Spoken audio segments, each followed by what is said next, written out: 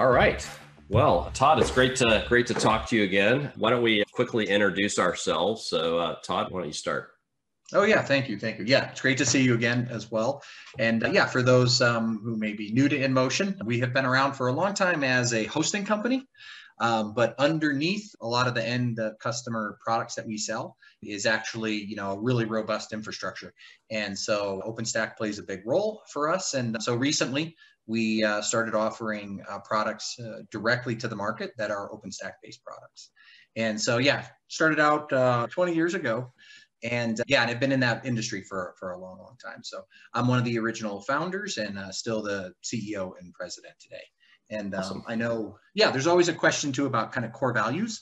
And really pertinent to this discussion is for a long time, I have been involved with uh, open source and myself got my start many years ago, late 90s, um, programming as, as it would be. And I was lucky enough to be able to take advantage of open source technologies to help me transition from being an automotive engineer into the uh, web space. And uh, so I've carried that passion for open source uh, to this day. So it's one of my core values and certainly specific to this. Great. Well, that, that's wonderful. Uh, well, my name is uh, Mark Collier, and um, I'm the COO at the Open Infrastructure Foundation. And previously, uh, I was one of the, the folks that got the OpenStack project started when I was at Rackspace. And then we started a couple years into that with uh, the OpenStack Foundation. And just recently, We've expanded to kind of look at infrastructure overall, still very much focused on OpenStack, but uh, uh, there's a lot of open source that's part of a modern cloud today, whether it's public, private, or hybrid. So, you know, as a foundation nonprofit, you know, we're bringing different companies and people together, 100,000 people in over 180 countries are members of our foundation. And, you know, InMotion's one of our members. So just excited to, to talk to you about some of your announcements and how you're bringing open source infrastructure to the market so people can actually use it. Yeah, absolutely. No, very excited and um, always good to uh, to talk to somebody with just as much experience. So I don't, so I'm not like, oh, back in the '90s, yeah. And um, yeah. What are you no, trying so, to say, huh? Come on. hey, I'm saying, I, am a little bit of gray. I got a little gray. Yeah, no, I mean, yeah, that's coming in. All right. Well, uh, yeah, I know today we're going to be running through uh, a lot of stuff about uh, open source and about OpenStack. But you know, in our world, we're really talking specifically about private clouds. Yeah, if you wouldn't mind, Mark, digging in a little bit in um, why you believe organizations are turning to private cloud, and, and then we'll go from there. Yeah, sure. I mean, what, what we see talking to to different companies is that you know there's there's a lot of drivers for private cloud. It's uh, security, data sovereignty are big big drivers. Um, definitely, you know, cost and and performance, and so you know we just see uh, the ability to kind of customize and and operate a cloud that's you know, more applicable to your workloads. Those are some of the big drivers, and, and we're definitely seeing growth. I mean, there's if you look at a lot of the data out there, there's a huge amount of, of growth going on in private cloud. Um, you know, there's a lot more headlines probably about public cloud, and people are starting to talk again about hybrid cloud. It was sort of talked about for a while. Now people are doing stuff with it. So the reality is, you know, we're seeing growth across all the forms of cloud computing. Infrastructure demand is just higher than ever. And so every sort of form of that, absolutely, definitely including private cloud, especially I think in the last year with COVID. Uh, I saw a stat recently of something like 37% growth in uh, the number of you know people that were growing their private clouds, you know, because of the, those kind of new demands that are just kind of making that that even more appealing as one of the ways to to have cloud infrastructure. Yeah, yeah, absolutely. No, we, we definitely um, see those same things. And uh, you say it's one of the reasons why we were focused on OpenStack for our private cloud. Mm-hmm. And in particular for us, you know, OpenStack at its uh, core is it really is a wonderful, wonderful product that is, you could say, fits so many use cases.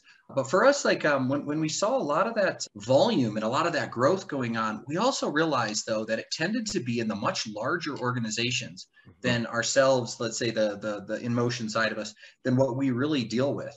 Um, and so for us, we were really concerned that we were seeing this great growth and volume in OpenStack and, and private clouds of all, of all sort, but it tended to be really large organizations that were able to do that and be successful with it. And so for us, we were like, hey, we really love the smaller business, the smaller teams. And so it really resonated with us to say, hey, can we actually help be part of that for the smaller teams?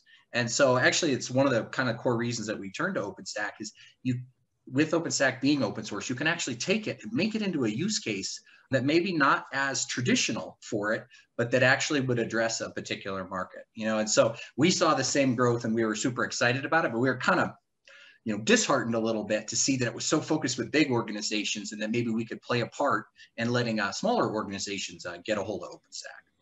Yeah, I mean, I, I think that um, that you make a great point, which is, you know, historically there hasn't been a lot of, you know, natural adoption in small medium business for OpenStack, even though the benefits of private cloud are very clear and, and absolutely do apply in that market. And I think it, what, what's been missing or what, you know, small businesses have not wanted to do is sort of like, oh, download the source code, set up their own infrastructure, run it on themselves. I mean, that doesn't make sense for, for the vast majority of small businesses. So the the benefits were there, but the cost side in terms of just people and time and focus that would be diverted from their core business just didn't make sense. And so this kind of like uh, commercial offering, the kind of you know productized uh, OpenStack as a service, that really is exactly I think what you're you're going for. If I'm if I'm not too far off the track here, and so that that is bringing uh, OpenStack to the small business market. Is that right? Yeah, yeah, absolutely. No, we want to make it. Uh, we want to just make it easier. It, it I think when we look at OpenStack, and again, I'm uh, the, the, biggest fan, so it's hard. It's hard for people to convince me that we shouldn't use OpenStack. So you know, I have to preface all of my discussions. I'll go ahead and agree with you there. Yeah, yeah. Thank you. yeah, makes sense. But but but I can. But yet we definitely have to acknowledge that it is hard. Um, like it takes expertise in networking and mm-hmm. hardware and automation and architectural design of something like this and like being able to scope what your workloads might be so you don't undersize or oversize. It's really hard. And so uh, when we were looking at, you know, and I'll use a funny word when I describe this, but I, when we were looking at it, I was like, what if we could make it trivial to start up an OpenStack and get in there and learn the components and the services and how it ties together um, check out what it can do, and then when you're done, turn it off. But that it should be trivial to do so. And one of the big successes, I don't know, for, for me, when I look at the big successes for the mega clouds, is that they made uh, getting a hold of computing resources trivial. It was super easy. You hit the button and you have it. So, and I said, you know, can we be something close to that? I mean, this is a very, very serious system, right? Like OpenStack and all the underpinnings is, is a very, very serious system. But if we if we could get close to that trivial idea mm-hmm. and let people try it, use it, experience it as in like, yeah, I can do this. What broader reach can OpenStack have? Uh, uh today, it's like one of the. You, actually, I'll, I'll, ask you this because I, I get the stats wrong, but it's big and powerful and people love it. But it does tend to be centered around really large organizations. And I was like, well, can it be even bigger? if we made it more accessible to the smaller team. So yeah, actually, it's probably a question back to you to, to say, I mean, again, I, I, for those who may not know OpenStack as well, I'm a huge fan, and part of it is because of the, the vibrancy of the community.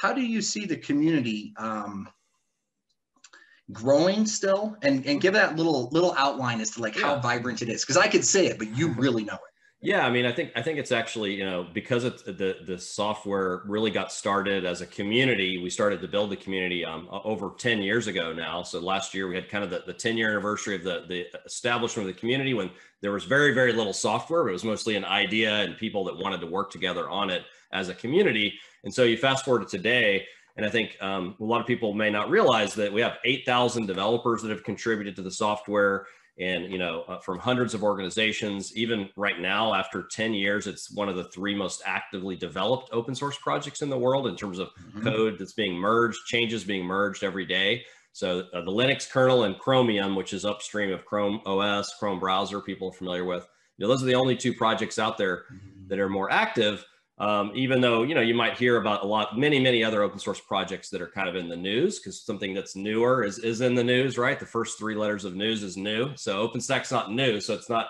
not as much in the news but the adoption the, the activity and developer community is as high as ever. And so the question is kind of like well why? Why with something that's kind of is it a solved problem? Why would there still be so much investment in the development? And the reason is because the demands of the workloads on infrastructure so we're still infrastructure as a service. That's what the OpenStack community is, is going after. But if you think about AI, machine learning, the rise of containers, like applying all that to the infrastructure as a service layer, each layer uh, actually of the stack, the control plane for the last several years within OpenStack has been containerized, take advantage of all that awesome container stuff. Um, on top, there are people that, you know, will run Kubernetes and then the workloads that are coming in with things like AI, TensorFlow, et cetera, you know, those those have new requirements on the infrastructure layer below because we need to expose GPUs, FPGAs, you know, um, ARM architecture. So there's so much more work to be done, even though it's you know still kind of the same layer that it was. But you know, there's so much demand for infrastructure, and the underlying architectures keep changing because more people have fun stuff to run on it. So that's that's really why you see more investment. It hasn't slowed down. I 100% agree with that. And, we, and we're seeing it um, even directly. Uh, one of the current customers that we're working with right now for non-GPU workloads, they're, they're a machine learning shop. Mm-hmm. Um, they're now coming to us saying, "Hey guys, what's what do you have for us?" Um, and we love these new A100s out of NVIDIA, which we do love. They're very, very expensive, but we do love them as well. And so, yeah, e- even in our case right now, we're now adding the A100s as an offering inside of our product catalog because the the the machine learning. I mean, it's a funny thing actually. One of the one of the machine learning guys they, they told me like you actually in some cases you can't get it off of the public cloud mm-hmm. right now. They're so in use that you actually have to get up at 2 a.m. in order to like book your time uh, to do some of your training work. And so they're turning to us to say, hey, what do you guys have to offer? And for sure, we're listening. Now, we're not as familiar yet with um, GPU inside of OpenStack, but you know, it's exciting to see that the community out there very much is into this. But let me follow that thought with a question. Yeah, what do you think we might face? I guess when we're we're bringing in GPUs um, and any guidance that you might have. Yeah, I mean, I think it's it, one of the things that, as I said, you know, kind of you look at where is the active development going on. I mean, that's indicative that you know there's challenges that are still being solved. And so, you know, you look at there's the virtualization side of it. So, you know, Nova kind of being the virtualization engine um, management system within the OpenStack framework. So there's, you know, virtual GPU enablement. But then there's also, you know, many times that you want to actually just expose it on on bare metal, right? So you see, uh, I was gonna gonna kick this back to you as well. Maybe if we talk a little bit about the bare metal side of it, but within the OpenStack framework, there's a component called Ironic, and so Ironic allows you to enable this uh, kind of treat your bare metal, these kind of physical servers that you have in, in mass throughout your data center in a programmatic fashion, sort of a cloud-like fashion with APIs and provisioning and being able to kind of uh, bring up new hardware, new racks and quickly bring them online and then decommission old hardware, the whole lifecycle management of hardware that we kind of take for granted if we're just, you know, consuming clouds all day, public clouds or, or your managed service, you know, your customers can take that for granted, but you don't, you have to to manage all that stuff. So I think in the GPU world and other sort of accelerators, uh, very much ironic as an area where there's a lot of investment going on. And then uh, last but not least, you know, I would say the Cyborg project is is kind of a newer project within the OpenStack world that's specifically trying to expose and make it uh, easier for for people to access kind of different types of accelerators. So mm-hmm. historically, you know, the, the philosophy is don't you know try to be somewhat uh, create abstraction layers right? So like we we, we don't necessarily have a gpu framework. We have a accelerator framework. Now the most people may be using it for gpus but that's kind of indicative of the philosophy and the community of like let's build something in anticipation that there may be more types of this thing going forward so we can we can scale out. Yeah that's yeah that's pretty helpful. And definitely our two acknowledged use cases that we've now gotten back from the customers they are saying both of those. They're saying hey we want to have direct access to the GPU at the bare metal level. And mm-hmm. um, and Ironic does, definitely in our system plays quite a role, both to help us provision and clean and flash BIOSes and all that stuff properly, like uh, good systems need to do. Um, but then it also, uh, ironic, in a future release for us, will allow the customer to actually do some of that stuff themselves from within their cloud. But yeah, our two use cases is absolutely we've got to expose the GPU easily so they can use it on the bare metal, uh, but then also slice it up. Those modern ones, of the A100 does seven virtual GPUs, and that's a use case for them too to say we're like look, we we'd rather have it sliced up because our workloads, we just we don't want them in serial. We we need them in parallel because they're a little bit smaller. So let's slice that up, put it in VMs, and then shove the workload at it.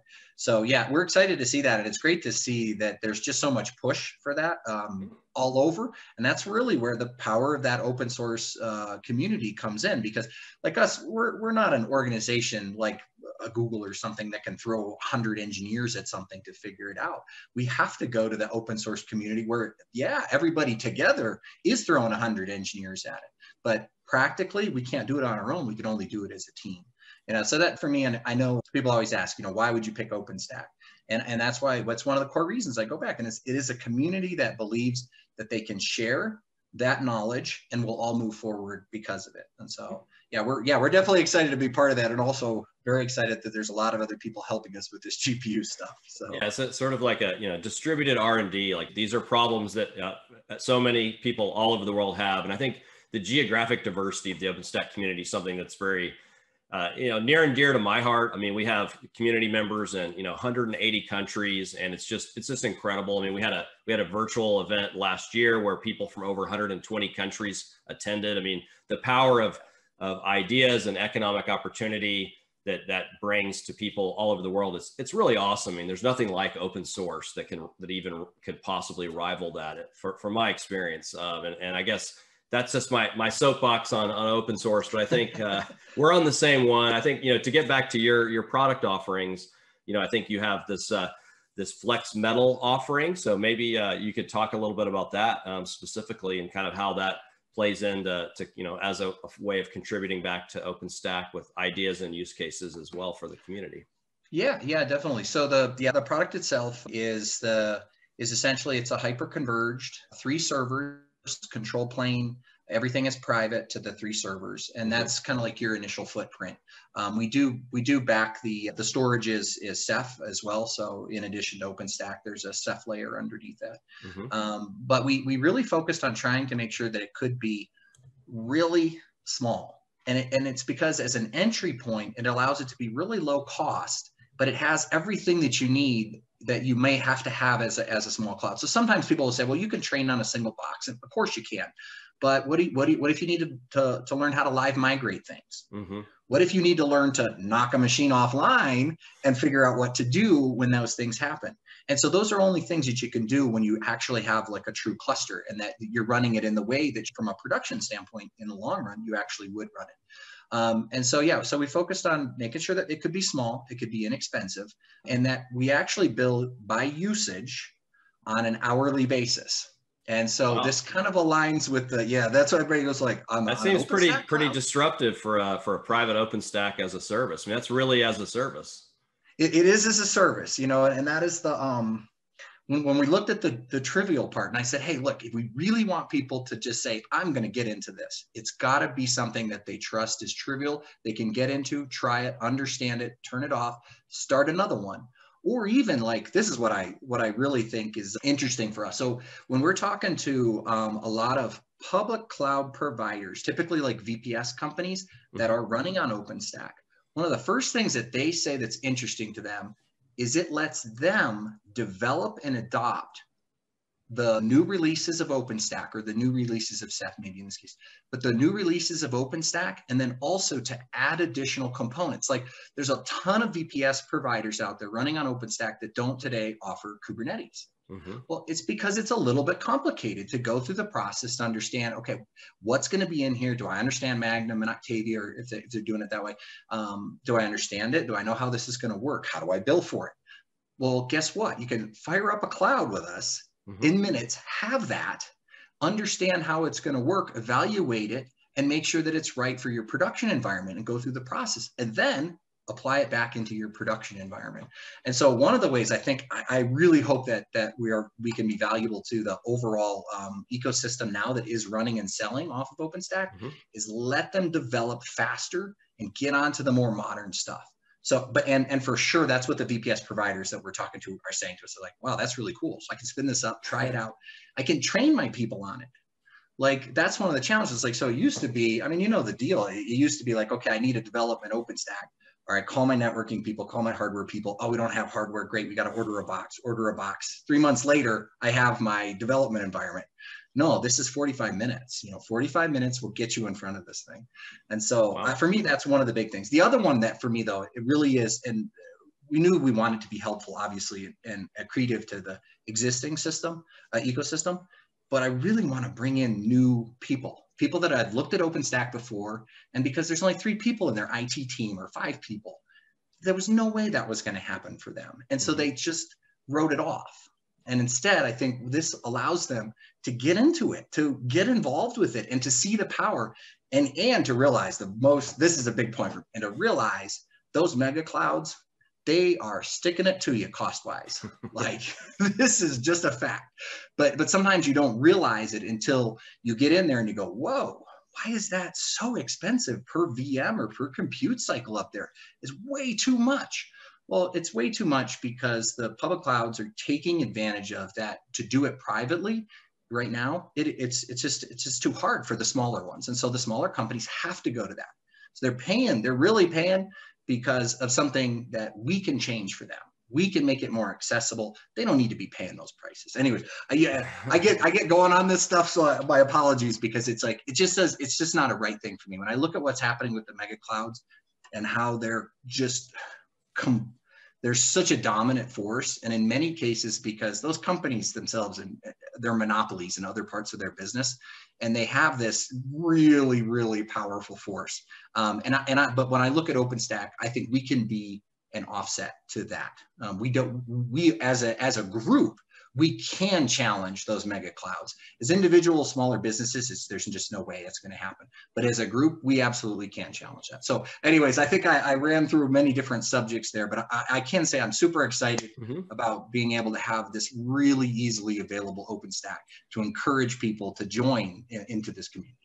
Yeah, no, that that's that's awesome. I think you, you, hit on a couple of really interesting points there. Like one is just the ecosystem enablement. Um, you know, I hadn't even really really thought of that. That that the power of this, what you're doing, not only to just kind of help people get their own private cloud, but actually people who are just trying to to bring to market uh, different flavors of OpenStack or stay more modern. Or you know, I'm sure all those VPS providers are their customers are demanding a Kubernetes service. And if they're finding that you know their ability to kind of serve those customers or that market is being held up because they can't experiment quickly have like their own sort of lab or mm-hmm. poc or see how it works in practice you know with a few clicks then that kind of this friction that's been in, in the market with openstack and you're helping remove that and then kind of the other side uh, the other kind of piece of that that you're saying which i really find compelling is that you know we there's people have talked about the cost of public clouds. It, they, it can be very, very expensive as you get, you know, uh, more reliant on it and also just being overly reliant on, on one or two providers.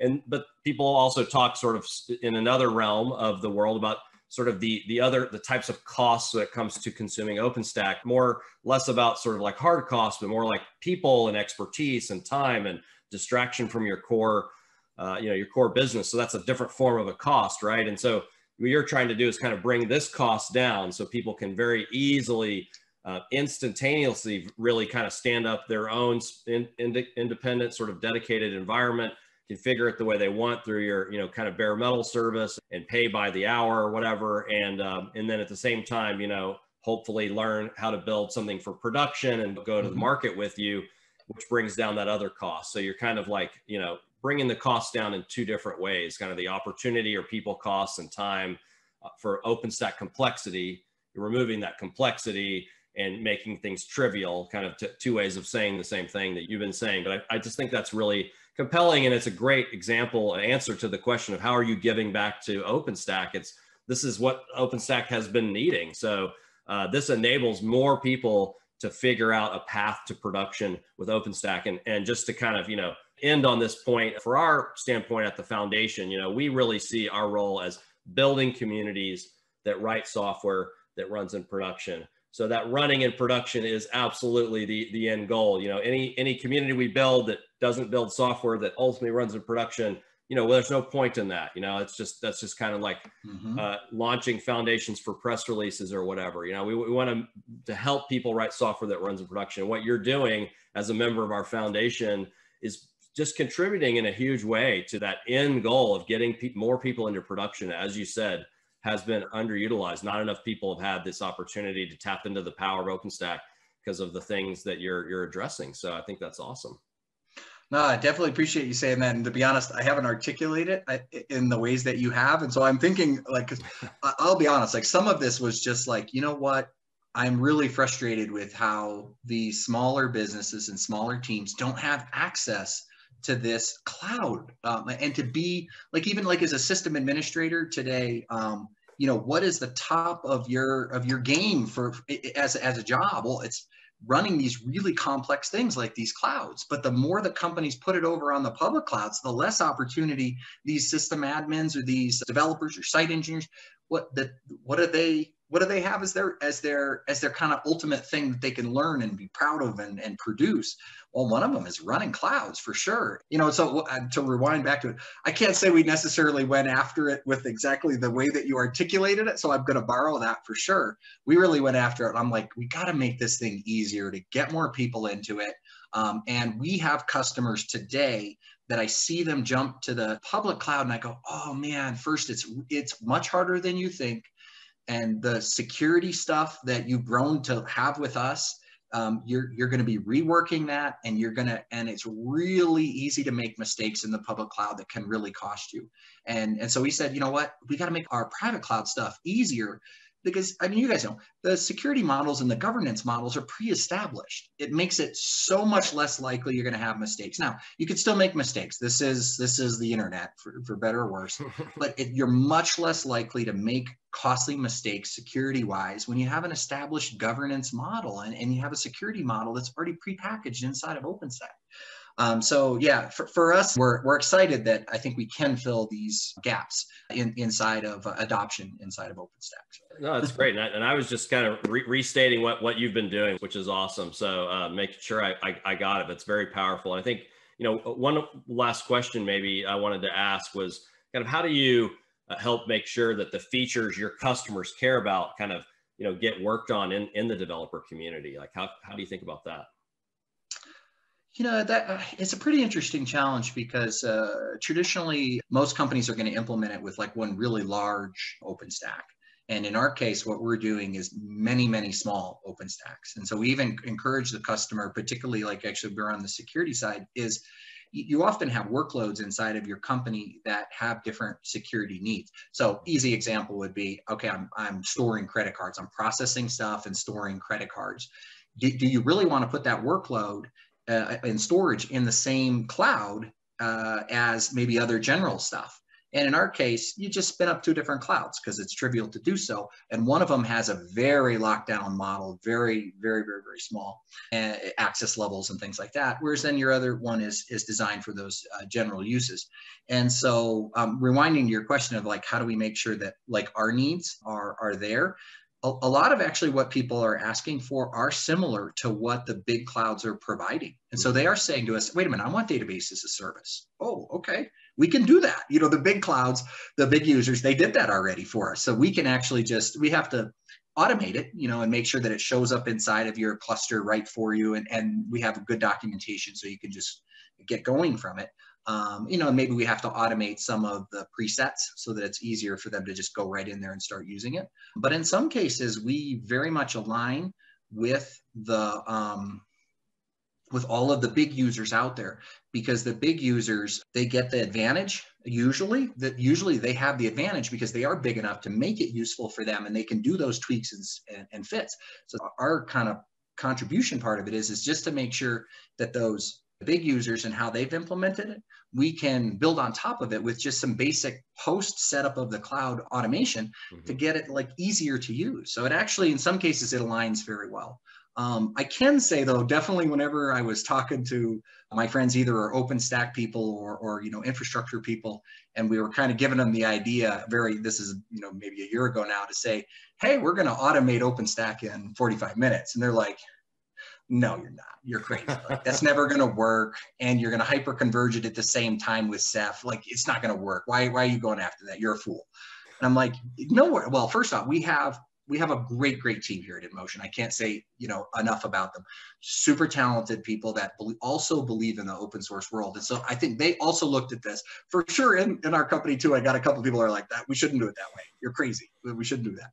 But but what I can say is that team who does believe in in this in being able to help these smaller businesses be successful and believes in open source, they found the way. They figured out how to get all these things to happen in that short a period of time.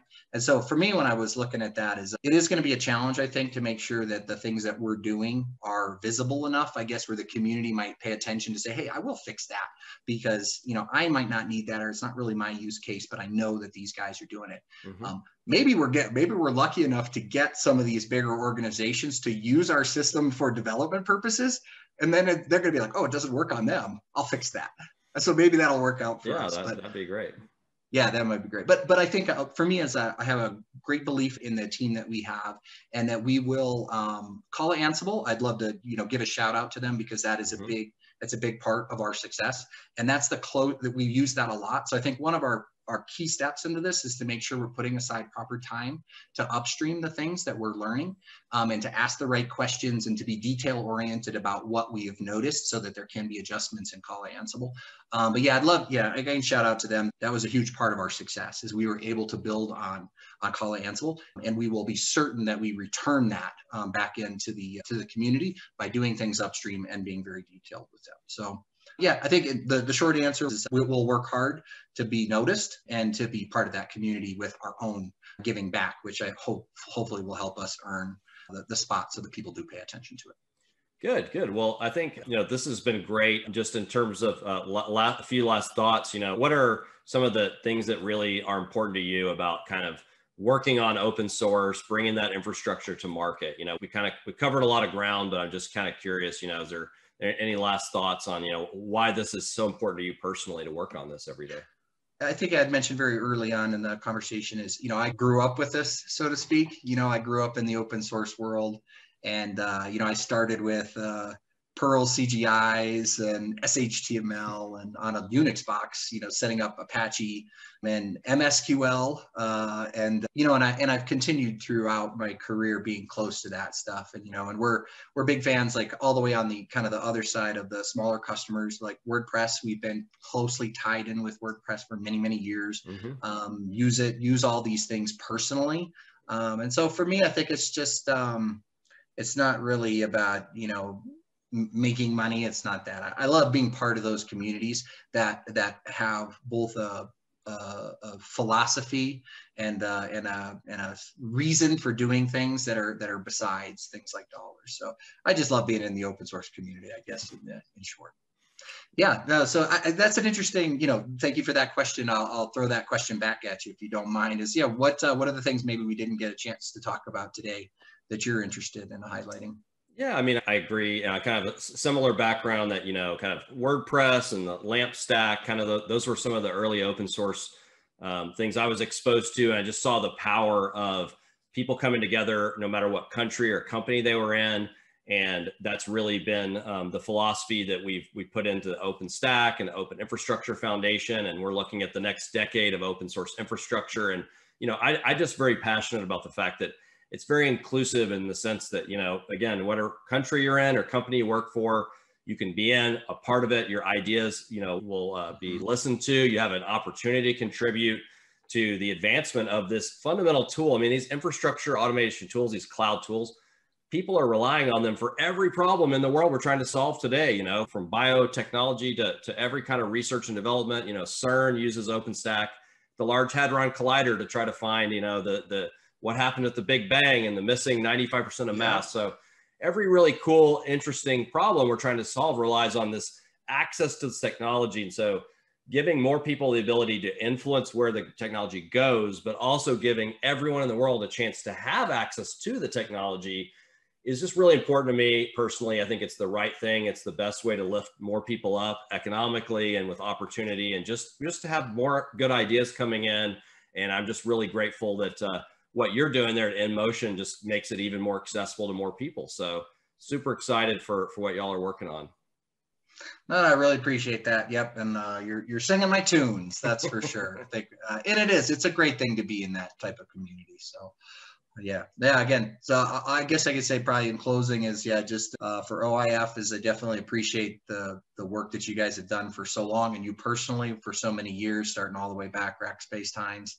Um, it is we we built something from what you guys have been gracious enough to contribute back to the community. So thank you, sir. All right. Thank you very much. Nice talking Absolutely. to you today. All right, real pleasure.